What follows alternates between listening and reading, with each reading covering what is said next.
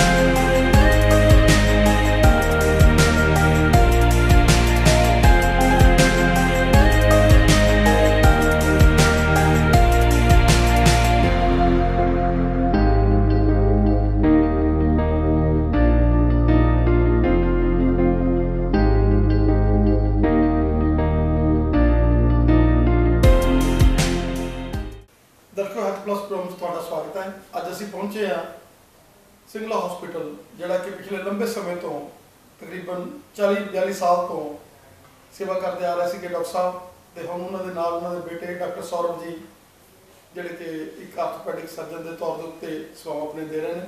ਤਾਂ ਸਰ ਤੁਹਾਡਾ ਸਵਾਗਤ ਹੈ ਤੁਹਾਡੇ ਸਪੈਸ਼ਲ ਸ਼ੋਅ 'ਚ। ਸ਼ੁਕਰੀਆ ਦੱਸੋ ਉਹ ਕੰਬੀਨੇਸ਼ਨ ਜਿਹੜਾ ਕਿ ਇੱਕ ਯੂਨੀਕ ਕੰਬੀਨੇਸ਼ਨ ਹੈ 40 ਸਾਲ ਦੀ ਪ੍ਰੈਕਟਿਸ ਪਾਪਾ ਦੀ ਔਰ ਉਹਨਾਂ ਦਾ ਪਿੰਡਾਂ ਦੇ ਵਿੱਚ ਆਸ-ਪਾਸ ਦੇ ਇਲਾਕੇ ਦੇ ਵਿੱਚ ਬਣਾਇਆ ਹੋਇਆ ਪਿਆਰ ਔਰ ਤੁਹਾਡੀ ਮਾਡਰਨ ਡਿਗਰੀ ਕਿਉਂਕਿ ਅੱਜ ਕੱਲ ਜੋ ਐਮਸੀਐਚ ਲੈ ਕੇ ਤੁਸੀਂ ਇੱਥੇ ਆਪਣੀ ਸੇਵਾ ਦੇ ਰਹੇ ਹੋ, ਇਹ ਦੋਨਾਂ ਦਾ ਕੰਬੀਨੇਸ਼ਨ ਕਿਉਂਕਿ ਉਹਨਾਂ ਦੀ ਪੁਰਾਣੀ ਜਿਹੜੀ ਹੈਗੀ ਆ ਸੇਵਾ ਕੀਤੀ ਵੀ ਤੇ ਤੁਹਾਡੀਆਂ ਨਵੀਆਂ ਡਿਗਰੀਆਂ। ਕਿੰਨਾ ਕਿ ਸਮੇਲ ਜਿਹੜਾ ਹੈਗਾ ਇੱਕ ਦੂਸਰੇ ਦੇ ਨਾਲ ਮਿਲ ਕੇ ਇਹ ਸੇਵਾ ਕਰੇ? ਨਹੀਂ, ਦੇਖੋ, ਇਸ ਦਾ ਤਾਂ ਬਹੁਤ ਲਾਭ ਹੁੰਦਾ ਹੈਗਾ, ਇਸ ਕੋਈ ਸ਼ੱਕ ਨਹੀਂ ਹੈ। ਮੇਰੇ ਫਾਦਰ ਦੇ ਜਿਹੜੇ ਪੇਸ਼ੈਂਟ ਬਣੇ ਹੋਏ ਨੇ, ਉਹ ਆਉਂਦੇ ਨੇ ਸਾਡੇ ਕੋਲ, ਮੈਨੂੰ ਵੀ ਦਿਖਾਉਂਦੇ ਨੇ, ਮੇਰੇ ਤੋਂ ਵੀ ਲਾਭ ਪਾ ਰਹੇ ਨੇ, ਸੇਵਾ ਵੀ ਕਰਦੇ ਨੇ। ਉਹ ਖੁਸ਼ ਵੀ ਬੜੇ ਹੁੰਦੇ ਨੇ ਕਿ ਤੁਸੀਂ ਚਲੋ, ਸਾਨੂੰ ਉਹੀ ਸੇਵਾਵਾਂ ਜਿਹੜੀ ਤੁਹਾਡੇ ਪਾਪਾ ਦੇ ਸੀ ਤੁਹਾਡੇ ਤੋਂ ਮਿਲਦੀਆਂ ਪਈਆਂ ਨੇ। ਇਹਦਾ ਲਾਭ ਹੁੰਦਾ ਹੀ ਹੈ ਜੀ, ਬਹੁਤ ਜ਼ਿਆਦਾ। ਔਰ ਇੱਕ ਐਸਾ ਐਟੀਟਿਊਡ ਜਿਨ੍ਹਾਂ ਨੇ ਜ਼ਿੰਦਗੀ ਦੇ ਵਿੱਚ ਹਮੇਸ਼ਾ ਸੇਵਾ ਨੂੰ ਆਪਣਾ ਪ੍ਰੋਫੈਸ਼ਨ ਜਿਹੜਾ ਸਮਝਿਆ, ਚਾਹੇ ਰਾਤ ਨੂੰ ਕੋਈ 2 ਵਜੇ ਵੀ ਆ ਜਾਂਦਾ ਸੀ, ਪਾਪਾ ਕੋਲ ਉਹਨਾਂ ਨੇ ਫਿਰ ਵੀ ਸੇਵਾ ਕੀਤੀ। ਔਰ ਲੱਖਾਂ ਬੰਦਿਆਂ ਨੂੰ ਜਿਹੜਾ ਹੈਗਾ, ਮਲੇਰਕੋਟਲੇ ਔਰ ਆਸ-ਪਾਸ ਦੇ ਨੂੰ ਬਚਾਇਆ, ਜ਼ਿੰਦਗੀ ਦਿੱਤੀ। ਜਿਸ ਟਾਈਮ ਤੇ ਉਹਨਾਂ ਨੇ ਐਮਬੀਬੀਐਸ ਕਰਕੇ ਆਏ ਸੀ ਉਸ ਟਾਈਮ ਦੇ ਡਾਕਟਰਸ ਬੜੇ ਘੱਟ ਹੁੰਦੇ ਸੀਗੇ। ਔਰ ਉਹਨਾਂ ਨੇ ਬੜੀ ਸੇਵਾ ਕਰਨੀ ਇਹਦਾ ਵੀ ਮਤਲਬ ਬਹੁਤ ਵੱਡਾ ਬੈਨੀਫਿਟ ਜਿਹੜਾ ਹੈਗਾ, ਮਿਲ ਰਿਹਾ ਹੋਵੇਗਾ ਲੋਕਾਂ ਪਿੰਡਾਂ ਦੇ ਨੂੰ ਖੁਸ਼ੀ ਹੁੰਦੀ ਹੋਊਗੀ। ਔਰ ਉਹ ਹੁਣ ਉਸ ਏਜ ਚਲੇ ਗਏ ਵੀ ਫਾਦਰ ਵਾਲੇ ਜਿਹੜੇ ਫਾਦਰ ਨੇ ਜਿਨ੍ਹਾਂ ਨੂੰ ਦੇਖਿਆ ਵੀ ਜਿਨ੍ਹਾਂ ਦੇ ਗੋਡੇ ਤੇ ਚੂਲੇ ਜਿਹੜੇ ਹੈਗੇ ਆ, ਹੁਣ ਤੱਕ ਦੁੱਖਣ ਵਾਲੇ ਹੋ ਗਏ ਕੀ ਕਹਿਣਾ ਨਹੀਂ, ਦੇਖੋ, ਸਾਡਾ ਵੀ ਇਹੀ ਸੇਮ ਹੀ ਉਸ, ਅਸੀਂ ਉਸ ਰਾਤ ਹੀ ਚੱਲ ਰਹੇ ਹਾਂ। ਸਾਡਾ ਘਰ ਮੇਰਾ ਉੱਪਰ ਹੈ। ਅਸੀਂ 24 ਘੰਟੇ ਐਮਰਜੈਂਸੀ ਸਰਵਿਸਿਜ਼ ਦੇ ਰਹੇ ਹਾਂ। ਸਾਡੇ ਕੋਲ ਰਾਤ ਦੋ ਤਿੰਨ ਪੇਸ਼ੈਂਟ ਆਉਂਦੇ ਨੇ, ਕੋਈ ਟਰਾਮਾ ਦਾ ਐਕਸੀਡੈਂਟ ਦਾ, ਅਸੀਂ ਸਾਡੇ ਕੋਲ ਖੁੱਲੇ ਰਹਿੰਦੇ ਹਨ ਹਮੇਸ਼ਾ। ਤਾਂ ਉਹ ਸੇਮ ਹੀ ਸਾਡਾ ਟ੍ਰੈਂਡ ਉਦਾਂ ਹੀ ਚੱਲਦਾ ਪਿਆ। ਬਸ ਠੀਕ ਹੈ ਪਾਪਾ ਥੋੜਾ ਆਰਾਮ ਲੈ ਕੇ ਹੁਣ ਅਸੀਂ ਉਹਨਾਂ ਦਾ ਕੰਮ ਜ਼ਿਆਦਾ ਆਸਾਨ ਕਰ ਰਹੇ ਹਾਂ ਤੇ ਆਪਣਾ ਕੰਮ ਤਾਂ ਜੋ ਟਰਾਮਾ ਦਾ ਹੈ 24 ਘੰਟੇ ਤਾਂ ਦੇ ਹੀ ਰਹੇ ਹਾਂ। ਉਹ ਸੇਮ ਹੀ ਚੱਲਦਾ ਪਿਆ ਟ੍ਰੈਂਡ ਬਿਲਕੁਲ। ਤਾਂ ਸਰ ਗੋਡੇ ਚੁੱਲੇ ਜਿਹੜੇ ਕਿ ਕਿਸੇ ਸਮੇਂ ਦੇ ਉੱਪਰ ਇਹ ਚੀਜ਼ਾਂ ਤੋਂ ਲੋਕ ਅਵੇਅਰ ਨਹੀਂ ਸੀਗੇ ਔਰ ਕਸਰ ਕਸਰ ਕੇ ਆਪਾਂ ਦੇਖਦੇ ਸੀ, ਜਦੋਂ ਬਜ਼ੁਰਗ ਹੁੰਦੇ ਸੀ ਤੁਰਿਆ ਨਹੀਂ ਜਾਂਦਾ ਜੀ, ਇਹਨੂੰ ਜਾ ਨਹੀਂ ਜਾਂਦਾ। ਲੇਕਿਨ ਅੱਜ ਕੱਲ੍ਹ ਨਵੀਆਂ ਟੈਕਨੀਕਸ ਦੇ ਨਾਲ ਤੁਸੀਂ ਜਿੱਦਾਂ ਜਿਹੜੀਆਂ ਨੀ ਸਰਜਰੀ ਹੈ ਜਿਹੜੀ ਉਹ ਕਰ ਰਹੇ ਹੋ ਔਰ ਹਿਪ ਸਰਜਰੀ ਕਰ ਰਹੇ ਹੋ ਔਰ ਲੋਕਾਂ ਨੂੰ ਗੋਡੇ ਔਰ ਚੂਲੇ ਬਦਲ ਕੇ ਇੱਕ ਨਵੀਂ ਜ਼ਿੰਦਗੀ ਦੇ ਰਹੇ ਹੋ। ਸਾਨੂੰ ਉਹਦੇ ਬਾਰੇ ਦੱਸੋ ਕਿ ਕਿਵੇਂ ਉਹ ਸਮਾਂ ਜਦੋਂ ਕਿ ਮਸ਼ੀਨਸ ਦੀ ਬੜੀ ਘਾਟ ਹੁੰਦੀ ਸੀਗੀ ਔਰ ਅੱਜ ਦਾ ਸਮਾਂ ਜਦੋਂ ਕਿ ਹਰ ਚੀਜ਼ ਜਿਹੜੀ ਹੈਗੀ ਆ ਪੂਰੀ ਤਰ੍ਹਾਂ ਨਾਲ ਮੈਗਨੀਫਾਈਡ ਹੋ ਗਈ ਹੈ। ਕੀ ਕਹਿਣਾ ਚਾਹੋਗੇ? ਦੇਖੋ ਪਹਿਲਾਂ ਤਾਂ ਲੋਕਾਂ ਨੂੰ ਇਹਦੇ ਬਾਰੇ ਅਵੇਅਰਨੈਸ ਨਹੀਂ ਸੀ ਬਲਕਿ ਹੁਣ ਵੀ ਸਾਡੇ ਜਿਹੜਾ ਆਸ-ਪਾਸ ਜਿਹੜੇ ਥੋੜਾ ਜਿਹਾ ਬਾਕੀਆਂ ਨਾਲੋਂ ਬੈਕਵਰਡ ਦੇ ਹੈਗਾ ਪੰਜਾਬ ਦਾ ਹਲੇ ਵੀ ਲੋਕਾਂ ਨੂੰ ਕਾਫੀ ਹੱਦ ਤੱਕ ਨੌਲੇਜ ਨਹੀਂ ਹੈਗੀ ਹੁਣ ਵੀ ਸਾਡੇ ਕੋਲ ਪੇਸ਼ੈਂਟ ਆਉਂਦੇ ਨੇ, ਉਹ ਕਹਿੰਦੇ ਨੇ, ਉਹ ਤਾਂ ਗੋਡਾ ਕਰਦਾ ਜੋ ਆਪਾਂ ਪਾਉਂਦੇ ਆ ਉਹ ਤਾਂ ਚੱਲਦਾ ਨਹੀਂ ਤਾਂ ਕੰਮ ਨਹੀਂ ਕਰਦਾ, ਉਹ ਤਾਂ ਨਕਲੀ ਗੋਡਾ ਹੁੰਦਾ। ਉਹਨੂੰ ਥੋੜਾ ਸਮਝਾਉਣਾ ਪੈਂਦਾ, ਸਾਨੂੰ 15 20 ਲਾਣੇ ਪੈਂਦੇ ਮੋਟੀਵੇਟ ਕਰਨਾ ਪੈਂਦਾ ਵੀ ਇਹ ਹੁਣ ਅੱਜ ਕੱਲ੍ਹ ਨਹੀਂ ਹੈਗਾ। ਹੁਣ ਹਾਈ ਫਲੈਕਸ ਨਹੀਂ ਆ ਗਿਆ, ਚੰਗੇ ਨਹੀਂ ਆ ਗਿਆ, ਇੱਕ ਪਾਸੇ ਦਾ ਗੋਡਾ ਬਦਲਿਆ ਜਾਂਦਾ ਹੈ। ਤਾਂ ਕੁਝ ਪੇਸ਼ੈਂਟ ਸਮਝ ਵੀ ਆਉਂਦੇ ਨੇ, ਪਰ ਆਬਵੀਅਸਲੀ ਜਿਹੜਾ ਪੁਰਾਣਾ ਟਾਈਮ ਸੀਗਾ, ਉਹ ਉੱਥੇ ਤਾਂ ਬਿਲਕੁਲ ਲੋਕਾਂ ਨੂੰ ਪਤਾ ਹੀ ਨਹੀਂ ਸੀਗਾ। ਹੁਣ ਜਿਹੜਾ ਨੀ ਰਿਪਲੇਸਮੈਂਟ ਸ਼ੁਰੂ ਕੀਤੀ ਸੀ, ਉਹ ਵੀ ਮੇਰੇ ਬੌਸ ਹੈ ਡਾਕਟਰ ਯਾਮਿਨ ਮੁਹੰਮਦ ਯਾਮਿਨ ਡੀਐਮਸੀ ਚ, ਮੇਰੇ ਬੌਸ ਰਹੇ ਨੇ ਉਹਨਾਂ ਨੇ ਸਟਾਰਟ ਕੀਤੀ ਪੰਜਾਬ ਚ ਮਿਲੀ ਉਹ ਆਈ ਥਿੰਕ 90s ਦੀ ਗੱਲ ਹੈਗੀ 92 ਜਾਂ 93 ਫਸਟ ਟਾਈਮ ਮੇਰੇ ਕੋਲ ਉਹਨਾਂ ਨੇ ਕੀਤੀ ਸੀ। ਹੁਣ ਤਾਂ ਕਾਫੀ ਕਾਮਨ ਹੋ ਗਈ ਹੈ, ਕਾਫੀ ਜਗ੍ਹਾ ਹੋਣ ਲੱਗੀ ਹੈ, ਛੋਟੇ ਸ਼ਹਿਰਾਂ 'ਚ ਹੋਣ ਲੱਗੀ ਹੈ, ਪਰ ਹਾਂ ਅਵੇਅਰਨੈਸ ਹਜੇ ਵੀ ਸਾਡੇ ਸ਼ਹਿਰਾਂ 'ਚ ਬਹੁਤ ਘੱਟ ਹੈਗੀ, ਖਾਸ ਕਰ ਪਿੰਡਾਂ ਦੇ ਲੋਕਾਂ ਨੂੰ। ਉਹਨਾਂ ਨੂੰ ਅਵੇਅਰ ਕਰਨਾ ਪੈਂਦਾ ਹੈ ਤੇ ਜਿਨ੍ਹਾਂ ਨੂੰ ਕਿੱਥੇ ਅਸੀਂ ਕਰਦੇ ਹਾਂ ਰਿਪਲੇਸਮੈਂਟ ਉਹਨਾਂ ਨੂੰ ਫਾਇਦਾ ਵੀ ਬਹੁਤ ਹੋ ਰਿਹਾ। ਜਿਹੜੇ ਹੁਣ ਵਿਚਾਰੇ ਬਹੁਤ ਮੁਸ਼ਕਿਲ ਨਾਲ ਚੱਲਦੇ ਨੇ ਵਿੰਗੇ ਗੋਡੇ ਨੇ ਕੁਝ ਹੋ ਰਿਹਾ ਉਹਨਾਂ ਨੂੰ ਬਹੁਤ ਫਾਇਦਾ ਵੀ ਹੋ ਰਿਹਾ ਰਿਜ਼ਲਟ ਵੀ ਚੰਗੇ ਆ ਰਹੇ ਕਲੀਅਰਲੀ ਕਰਨੀ ਹੈ ਤੇ ਉਹ ਵੀ ਟੈਕਨੀਕਸ ਬਹੁਤ ਵਧੀਆ ਹੋ ਗਈਆਂ ਤੇ ਰੇਟ ਵੀ ਮੋਦੀ ਸਰਕਾਰ ਨੇ ਮਤਲਬ ਲਾਸਟ ਟਾਈਮ ਕਾਫੀ ਕੱਟ ਕੱਟ ਕਰਤੇ ਸੀਗੇ ਅਸੀਂ ਰਿਪਲੇਸਮੈਂਟ ਦੇ ਪਾਸ ਰੇਟ ਕੈਪਿੰਗ ਨਾਲ ਉਹ ਆਈ ਥਿੰਕ 20 25 ਹਜ਼ਾਰ ਦਾ ਇੱਕ ਗੋਡੇ ਵਿੱਚ ਉਹਨਾਂ ਨੂੰ ਫ਼ਰਕ ਵੀ ਪਾਤਾ ਸੀ। ਦੇਖੋ ਪੇਸ਼ੈਂਟ ਦੇ ਜੇ ਆਪਾਂ ਲੈ ਕੇ ਜਿਹੜੇ ਪੇਸ਼ੈਂਟ ਦਾ ਪੱਖ ਜਿਹੜਾ ਪੇਸ਼ੈਂਟ ਨੇ ਸਾਨੂੰ ਸਿੰਪਟਮ ਦੱਸਦੇ ਆ, ਉਹ ਸਭ ਤੋਂ ਕਾਮਨ ਸਿੰਪਟਮ ਹੁੰਦਾ ਪੇਨ ਪੇਨ ਤੇ ਲੰਗੜਾਪਨ ਜੇ ਪੇਸ਼ੈਂਟ ਨੂੰ ਪੇਨ ਇੰਨਾ ਟੋਲਰੇਟ ਨਹੀਂ ਹੋ ਰਿਹਾ ਕਿਉਂਕਿ ਉਹ ਦਵਾਈਆਂ ਲਈ ਜੋ ਪੇਨ ਕਿਲਰ ਉਹ ਵੀ ਨੁਕਸਾਨ ਕਰ ਰਹੀਆਂ ਆਪਣੀ ਕਿਡਨੀ ਨੂੰ ਲੀਵਰ ਨੂੰ। ਪਹਿਲੀ ਗੱਲ ਤਾਂ ਪੇਨ ਫਿਰ ਡਿਫਾਰਮਿਟੀ ਲੰਗੜਾਪਨ। ਤੁਸੀਂ ਤੁਰ ਨਹੀਂ ਰਹੇ ਹੋ, ਤੁਸੀਂ ਆਪਣੀ ਡੇਲੀ ਲਾਈਫ ਖਰਾਬ ਕਰ ਰਹੇ ਹੋ, ਵੈਸੇ ਵੀ ਤੇ ਦਵਾਈਆਂ ਨਾਲ ਹੀ। ਉਹ ਹੈਗਾ ਪੇਸ਼ੈਂਟ ਦਾ ਪੱਖ। ਉਹ ਚ ਆਪਾਂ ਨੂੰ ਲੀਡ ਦੇਖਦੇ ਦਾ ਸੋਚਣਾ ਚਾਹੀਦਾ ਹੈ। ਬਾਕੀ ਜਿਹੜਾ ਹੈਗਾ ਸਾਡਾ ਪੱਖ। ਸਾਡੇ ਪੱਖ ਦੇ ਹਿਸਾਬ ਨਾਲ ਸਾਨੂੰ ਗ੍ਰੇਡਿੰਗ ਕਰਨੀ ਪੈਂਦੀ ਹੈ ਡਿਜ਼ੀਜ਼ ਦੀ। ਉਹ ਪੇਸ਼ੈਂਟ ਨੂੰ ਐਗਜ਼ਾਮਿਨ ਕਰਕੇ ਤੇ ਐਕਸ-ਰੇਜ਼ ਦੇ ਕੇ ਚਾਰ ਗ੍ਰੇਡ ਹੁੰਦੇ ਨੇ ਤਰ੍ਹਾਂ ਦੇ, ਆਪਾਂ ਖਾਸ ਕਰਕੇ ਆਪਾਂ ਨੀ ਰਿਪਲੇਸਮੈਂਟ ਲੈ ਕੇ ਚੱਲੀਏ।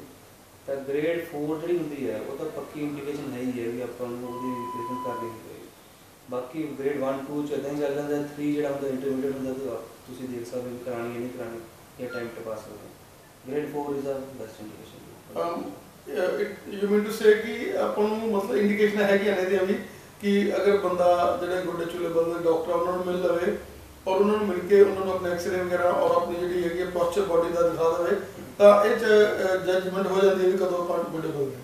ਹਾਂਜੀ ਹਾਂਜੀ ਬਿਲਕੁਲ ਇਹ ਪ੍ਰੋਪਰ ਇੰਡੀਕੇਸ਼ਨ ਬਣੀ ਹੋਈ ਹੈ ਕਿ ਆਪਾਂ ਨੂੰ ਕਿੱਥੇ ਕਰਨੀ ਚਾਹੀਦੀ ਕਿੱਥੇ ਨਹੀਂ ਕਰਨੀ ਚਾਹੀਦੀ ਜੇ ਤੁਸੀਂ ਇੰਡੀਕੇਸ਼ਨ ਹੈ ਨਹੀਂ ਵੈਸੇ ਹੀ ਰਿਪਲੇਸਮੈਂਟ ਪ੍ਰੋਵੀਜ਼ਨ ਕਰੀ ਜਾਓ ਉਹ ਪੈਸੇ ਵੀ ਲੱਗਦੇ ਨੇ ਪੇਸ਼ੈਂਟ ਦੇ ਤੇ ਉਹ ਪ੍ਰੋਪਰ ਉਹਦਾ ਟ੍ਰੀਟਮੈਂਟ ਹੋ ਹੀ ਨਹੀਂ ਕਰ ਜੇ ਕੋਈ ਜੋ ਨਰਵ ਪੇਨ ਹੈ ਪੇਸ਼ੈਂਟ ਨੂੰ ਕੋਈ ਹੋਰ ਪੇਨ ਹੈਗੀ ਹੈ ਜਾਂ ਕੋਈ ਹੋਰ ਅਹ, ਆਸ-ਪਾਸ ਦੀ ਗੋਡੇ ਨੂੰ ਛੱਡ ਕੇ ਉੱਪਰ ਥਾਈਜ਼ ਪੇਨ ਹੈ ਉਹਦੇ ਕਰਕੇ ਗੋਡੇ 'ਚ ਪੇਨ ਹੈ ਰੈਫਰ ਪੇਨ ਜਿਹਨੂੰ ਆਪਾਂ ਕਹਿੰਦੇ ਹਾਂ। ਉਹ ਜੇ ਆਪਾਂ ਅੱਧਾ ਕਰ ਦਾਂਗੇ ਉਹ ਪੇਸ਼ੈਂਟ ਵੈਸੇ ਵੀ ਕਰ ਚੁੱਕਾ ਉਹਨੂੰ ਫਿਰ ਵੀ ਫਾਇਦਾ ਨਹੀਂ ਹੋਣਾ। ਇਸ ਲਈ ਆਪਾਂ ਨੂੰ ਪ੍ਰੋਪਰ ਐਗਜ਼ਾਮਿਨ ਕਰਕੇ ਪ੍ਰੋਪਰ ਇੰਡੀਕੇਸ਼ਨ ਵਾਲਾ ਮਰੀਜ਼ ਹੀ ਆਪਰੇਟ ਕਰਨਾ ਚਾਹੀਦਾ, ਦੂਜਾ ਮਰੀਜ਼ ਨੂੰ ਆਪਰੇਟ ਨਹੀਂ ਕਰਨਾ ਚਾਹੀਦਾ। ਐਂਡ ਸਭ ਇਹਦੇ ਨਾਲ ਨਾਲ ਜਿਸ ਤਰੀਕੇ ਨਾਲ ਜਦੋਂ ਬੰਦਾ ਦਾ ਗੋਡੇ ਜਿਹੜੇ ਹੈਗੇ ਆ, ਪੂਰੀ ਤਰ੍ਹਾਂ ਘਸ ਜਾਂਦੇ ਆ ਮੀਨਸ ਔਰ ਤੁਹਾਡੇ ਕੋਲ ਤਾਂ ਹੋਰ ਵੀ ਟੈਕਨੀਕਸ ਜਿੱਦਾਂ ਕਹਿੰਦੇ ਕਿ ਹਾਫ ਗੋਡਾ ਵੀ ਤੁਸੀਂ ਬਦਲ ਦਿੰਦੇ ਹੋ, ਕਈ ਵਾਰ ਉਹ- ਉਹਦੇ ਚ ਵੀ ਤੁਸੀਂ ਅੱਗੇ ਦਾ ਫਾਇਦਾ ਕਰਦੇ ਹੋ, ਉਹਦੇ ਬਾਰੇ ਕੀ ਕਹਿੰਦੇ ਹੋ ਹਾਫ ਗੋਡਾ ਇਨ ਪ੍ਰੋਸੈਸ ਚੱਲਦਾ ਪਿਆ ਹੈ, ਪਰ ਉਹ ਉਹਦੀ ਇੰਡੀਕੇਸ਼ਨ ਲੱਗ ਰਹੀ ਜਿਵੇਂ ਗ੍ਰੇਡ ਆਪਾਂ ਕਹਿੰਦੇ ਗ੍ਰੇਡ 4 ਹੈ ਉਹ ਚ ਆਪਾਂ ਹਾਫ ਗੋਡਾ ਨਹੀਂ ਬਦਲਾਂਗੇ ਜਿਵੇਂ ਯੰਗ ਏਜ ਹੈ ਖਾਸ ਕਰ ਯੰਗ ਏਜ ਮਤਲਬ ਬਿਲੋ 50 ਜੇ ਬਿਲੋ 50 ਜੇ ਸਟਾਰਟ ਹੋ ਗਿਆ ਗ੍ਰੇਡ 2 ਜਾਂ 3 ਤੱਕ ਪਹੁੰਚ ਗਏ ਤਾਂ ਉਹ ਇਸ ਤਰ੍ਹਾਂ ਦੇ ਕੁਝ ਇੰਡੀਕੇਸ਼ਨ ਨੇ ਹਾਫ ਗੋਡੇ ਦੀ ਆਪਾਂ ਇਦਾਂ ਨਹੀਂ ਆ ਵੀ ਆਪਾਂ ਬਿਲਕੁਲ ਹੀ ਖਰਾਬ ਹੈ ਤਾਂ ਹਾਫ ਗੋਡਾ ਬਦਲਣਾ ਉਹ ਤਾਂ ਫੁੱਲ ਰਿਪਲੇਸਮੈਂਟ ਹੀ ਹੁੰਦੀ ਹੈ। ਤੇ ਉਹ ਚੀਜ਼ਾਂ ਅੰਡਰ ਸਟੱਡੀ ਨੇ ਹਜੇ ਇੰਨਾ ਕਾਮਨ ਨਹੀਂ ਹੋ ਰਿਹਾ ਹੈਗਾ ਇਨ ਮਤਲਬ ਪ੍ਰੋਸੈਸ ਚੱਲਦਾ ਪਿਆ ਉਹਦੇ ਵੀ ਅਲੱਗ-ਅਲੱਗ ਇੰਡੀਕੇਸ਼ਨ ਨੇ ਆਪਾਂ ਹਰੇਕ ਛਾਪ ਗੋਡਾ ਨਹੀਂ ਬਦਲ ਸਕਦੇ ਡਿਪੈਂਡਸ ਔਨ ਏਜ ਤੇ ਉਹ ਵੀ ਡਿਫਾਰਮਿਟੀ ਕਿੰਨੀ ਹੈ ਉਸ ਤੇ ਡਿਪੈਂਡ ਕਰਦਾ ਐਸਾ ਜਿਸ ਤਰੀਕੇ ਦੇ ਨਾਲ ਗਠੀਆ ਜਿਹੜਾ ਕਿ ਇੱਕ ਬਹੁਤ ਹੀ ਨਾਮਵਰ ਬਿਮਾਰੀ ਹੈਗੀ ਹੈ ਜਿਹੜੇ ਗਠੀਆ ਵਾਲੇ ਪੇਸ਼ੈਂਟ ਆ ਕਿ ਉਹਨਾਂ ਦਾ ਵੀ ਗੋਡੇ ਚੁੱਲੇ ਬਦਲ ਕੇ ਇਹ ਜਿਹੜੀ ਚੀਜ਼ ਹੈਗੀ ਉਹ ਤਕਲੀਫ ਮਿਲ ਸਕਦਾ ਹਾਂਜੀ ਹਾਂਜੀ ਗਠੀਆ ਗਠੀਆ ਕਾਮਨਲੀ ਮਲਟੀ ਜੁਆਇੰਟ ਡਿਜ਼ੀਜ਼ ਹੈਗੀ ਹੈ ਮਤਲਬ ਕਾਫੀ ਆਪਣੇ ਜੁਆਇੰਟਸ ਨੂੰ ਅਫੈਕਟ ਕਰਦੀ ਹੈ ਜਿਹੜੀ ਕਾਮਨਲੀ ਹੈਂਡਸ ਜੁਆਇੰਟ ਨੂੰ ਅਫੈਕਟ ਕਰਦੀ ਹੈ ਤੇ ਲੇਟਰ ਉਹ ਗੋਡੇ ਤੇ ਚੂਲੇ ਨੂੰ ਅਫੈਕਟ ਕਰਦੀ ਹੈ।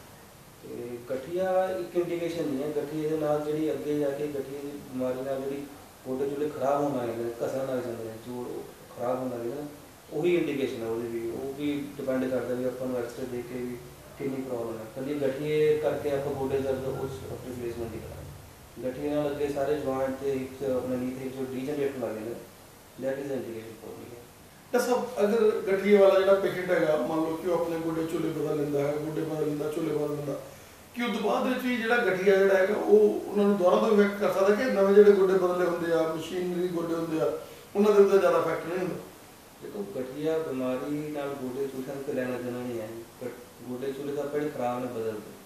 ਪਰ ਗਠੀਆ ਬਿਮਾਰੀ ਦਾ ਇਲਾਜ ਤਾਂ ਲੱਗ ਤੋਂ ਚੱਲ ਹੀ ਰਹੀ ਸੀ ਜਿਹੜੀ ਗਠੀਏ ਦੀ ਬਿਮਾਰੀ ਹੈ, ਜੋ ਆਪਣੇ ਟੈਸਟਾਂ 'ਚ ਆ ਰਹੀ ਹੈ ਨਹੀਂ ਜਾ ਰਹੀ ਉਹਦੀ ਦਵਾਈਆਂ ਜਿਹੜੀ ਗਠੀਏ ਦੀ ਦਵਾਈਆਂ ਤਾਂ ਲੱਗ ਤੋਂ ਚੱਲਣੀਆਂ ਚੱਲਣੀਆਂ ਮਤਲਬ ਇਟ ਵੋਂਟ ਮੀਨਸ ਕਿ ਤੁਸੀਂ ਮਤਲਬ ਪਲਾਸਟਰ ਦੇ ਦੂਜੇ ਮਤਲਬ ਗੋਡੇ ਪਵਾ ਲਏ ਤੇ ਉਹਦੇ ਨਾਲ ਇਹ ਚੀਜ਼ ਹੋ ਜਾਵੇ ਵੀ ਅਗਲਾ ਕਹੇ ਵੀ ਗਠੀਆ ਬਿਮਾਰੀ ਉਹਦੇ ਨਾਲ ਨਹੀਂ ਠੀਕ ਹੋਏਗੀ। ਨਹੀਂ ਬਿਮਾਰੀ ਨਹੀਂ ਠੀਕ ਹੋਏਗੀ ਆਈ ਮੀਨ ਟੂ ਸੇ ਕਿ ਜਦੋਂ ਬੰਦੇ ਨੇ ਗਠੀਏ ਦੇ ਪਹਿਲਾਂ ਉਹਦੇ ਗੋਡਿਆਂ ਦੇ ਉੱਤੇ ਇਫੈਕਟ ਕਰ ਗਏ ਗਠੀਏ ਦੇ ਨਾਲ ਔਰ ਜਦੋਂ ਦੁਬਾਰਾ ਨਵੇਂ ਗੋਡੇ ਪਾਉਗਾ ਕੀ ਮਤਲਬ ਉਹਦੇ 'ਚ ਨਵੇਂ ਗੋਡਿਆਂ ਦੇ ਵਿੱਚ ਵੀ ਇਫੈਕਟ ਰਹਿੰਦਾ ਹੈਗਾ ਗਠੀਏ ਦੇ ਨਾਲ ਗਾ ਮਤਲਬ ਹੋ ਸਕਦੀ ਪ੍ਰੋਬਲਮ ਨਹੀਂ, ਨਵੇਂ ਗੋਡੇ ਚ ਏਦਾਂ ਕੋਈ ਗੱਠੀ ਦੀ ਪ੍ਰੋਬਲਮ ਨਹੀਂ, ਜਿਹੜੇ ਗੋਡਾ ਰਿਪਲੇਸ ਹੋ ਗਿਆ ਤਾਂ ਨਵਾਂ ਪਈ ਹੀ ਗਿਆ। ਜਿਹੜੀ ਗੋਡਾ ਖਰਾਬ ਹੋ ਗਿਆ। ਮੈਂ ਉਹੀ ਕੋਈ ਕਹਿਣਾ ਪਿਆ ਜੇ ਗਠੀਏ ਨਾਲ ਗੋਡਾ ਦਰਦ ਹੈ, ਉਹ ਇੰਡੀਕੇਸ਼ਨ ਨਹੀਂ ਹੈ। ਜੇ ਗੋ, ਗਠੀਏ ਨਾਲ ਗੋਡਾ ਦਰਦ ਸ਼ੁਰੂ ਹੋ ਗਿਆ ਉਸ ਗੋਡਾ ਖਰਾਬ ਹੋਣ ਲੱਗ ਗਿਆ। ਉਹ ਇੰਡੀਕੇਸ਼ਨ ਹੈ। ਖਰਾਬ ਚੀਜ਼ ਨੂੰ ਰਿਪਲੇਸ ਕਰਦੀ, ਉਹ ਚੀਜ਼ ਠੀਕ ਹੋ ਗਈ। ਪਰ ਗਠੀਆ ਬਿਮਾਰੀ ਜਿਹੜੀ ਪਈ ਹੈ ਉਹਦਾ ਇਲਾਜ ਨਾਲ ਤੱਕ ਚੱਲੀ ਜਾਏ। ਪੇਸ਼ੈਂਟ ਨੂੰ ਆਈ ਥਿੰਕ ਆਪਾਂ ਨੂੰ ਪੇਸ਼ੈਂਟ ਨੂੰ ਐਜ਼ ਆਪਣਾ ਭਾਈ ਜਾਂ ਭੈਣ ਸਮਝ ਕੇ ਟ੍ਰੀਟ ਕਰਨਾ ਚਾਹੀਦਾ ਹੈ ਤੇ ਆਪਾਂ ਅਨਇੰਡੀਕੇਟਿਡ ਆਪਰੇਟ ਕਰਨ ਨਹੀਂ ਕਰਨਾ ਚਾਹੀਦਾ, ਜਿਹੜੀ ਮੇਰਾ ਫੰਡਾ ਹੈ ਪੇਸ਼ੈਂਟ ਨੂੰ ਪਹਿਲਾਂ ਦਵਾਈਆਂ ਠੀਕ ਕਰਕੇ ਦੇਖੋ, ਇੱਕ ਵਾਰ ਦਵਾਈਆਂ ਦੇਖ ਕੇ ਭੇਜੋ 15 ਮਿੰਟ ਵੇਟ ਕਰੋ ਹਾਂ, ਜੋ ਪੇਸ਼ੈਂਟ ਹੈ ਹੀ ਹੈ ਪਤਾ ਹੀ ਲੱਗਦਾ ਤੁਹਾਨੂੰ ਵੀ ਇੰਡੀਕੇਟਡ ਹੈਗੀ ਹੈ 100% ਉਹ ਤਾਂ ਆਪਾਂ ਫਸਟ ਟਾਈਮ ਕਰ ਦਿੰਦੇ ਹਾਂ। ਪਰ ਜੇ ਦਵਾਈਆਂ ਨਾਲ ਚੀਜ਼ ਠੀਕ ਹੋ ਸਕਦੀ ਹੈ ਜਾਂ ਟਾਈਮ ਲੱਗ ਸਕਦਾ ਹੈ, ਜਾਂ ਕੋਈ ਉਹਨੂੰ ਹੋਰ ਹਾਰਟ ਪ੍ਰੋਬਲਮ ਹੈ ਜਾਂ ਕੋਈ ਸ਼ੂਗਰ ਦੀ ਪ੍ਰੋਬਲਮ ਹੈ ਉਹ ਚ ਆਪਾਂ ਨੂੰ ਪਹਿਲਾਂ ਕੰਜ਼ਰਵੇਟਿਵ ਟਰਾਈ ਕਰਨੀ ਚਾਹੀਦੀ ਹੈ ਵੀ ਐਦਾਂ ਗੋਡਾ ਬਚਾਇਆ ਜਾਵੇ, ਉਹਦੇ ਵਰਗੀ ਚੀਜ਼ ਤਾਂ ਹੋਵੇ ਸੀ ਆਰਟੀਫੀਸ਼ੀਅਲ ਚੀਜ਼ ਨਹੀਂ ਬਣ ਸਕਦੀ ਕਿਉਂਕਿ ਆਰਟੀਫੀਸ਼ੀਅਲ ਚੀਜ਼ ਗੋਡੇ ਨਾਲ ਬੰਦਾ ਚੌਕੜੀ ਮਾਰ ਕੇ ਪੈਰਾਂ ਪਰ ਬੈਠਣ ਦੀ ਦਿੱਕਤ ਆਉਂਦੀ ਹੈ।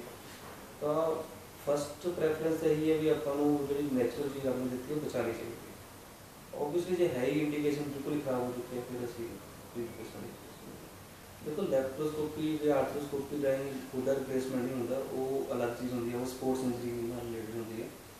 ਜਿਹੜੇ ਕੰਪਿਊਟਰ ਜਾਂ ਨੈਵੀਗੇਸ਼ਨ ਰਾਹੀਂ ਅੱਜਕੱਲ ਨੀਂਦ ਰਿਪਲੇਸਮੈਂਟ ਹੋ ਰਹੇ ਆ ਉਹ 'ਚ ਵੀ ਜ਼ਿਆਦਾ ਕੱਟ 'ਚ ਫ਼ਰਕ ਨਹੀਂ ਪੈਂਦਾ ਕੱਟ ਤੇ 8-10 ਸੈਂਟੀਮੀਟਰ ਲੱਗਣਾ, ਉਹ ਲੱਗਣਾ ਹੀ ਹੈ।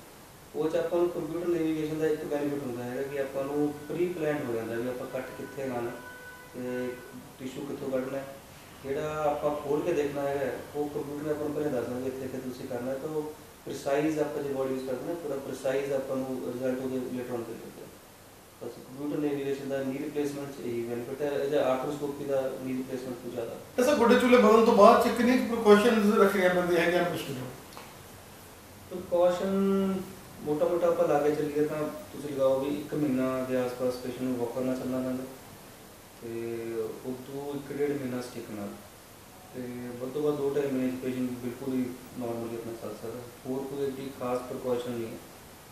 ਤੇ ਸਫ਼ਾਈ ਕਰੇ ਧਿਆਨ ਰੱਖਣਾ ਪੈਂਦਾ ਇਨਫੈਕਸ਼ਨ ਨਾ ਹੋਵੇ ਉਸੇ ਵੈਸੀ ਪੇਸ਼ੈਂਟ ਨੂੰ ਅਵਾਇਡ ਕਰਦੇ ਨੇ ਕੋਈ ਨਹੀਂ ਮਤਲਬ ਮੇਨ ਪ੍ਰੀਕਾਸ਼ਨ ਵਾਲਾ ਕੋਈ ਖਾਸ ਨਹੀਂ ਇਟ ਮੀਨਸ ਕਿ ਉਸ ਤੋਂ ਬਾਅਦ ਉਹ ਸਾਈਕਲ ਵੀ ਚਲਾ ਸਕਦਾ ਉਹ ਕ੍ਰਿਕਟ ਵੀ ਖੇਡ ਸਕਦਾ ਔਰ ਇੱਕ normal life he can lead normal life normal life ਦੇਖੋ ਜਿਹੜੇ ਨੀ ਖਾਸ ਕਰ ਨੀ ਰਿਪਲੇਸਮੈਂਟ ਹਿਪ ਰਿਪਲੇਸਮੈਂਟ ਤੋਂ ਯੰਗਸ ਵੀ ਕਰਦੇ ਨੇ।